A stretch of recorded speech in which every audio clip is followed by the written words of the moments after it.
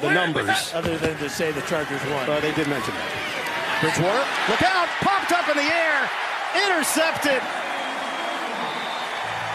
Jaylen Watkins with the pick for LA. Dwayne Washington, it bounced off of his hands, and this turned into a gift for the Chargers. Saints were threatening to score. Instead,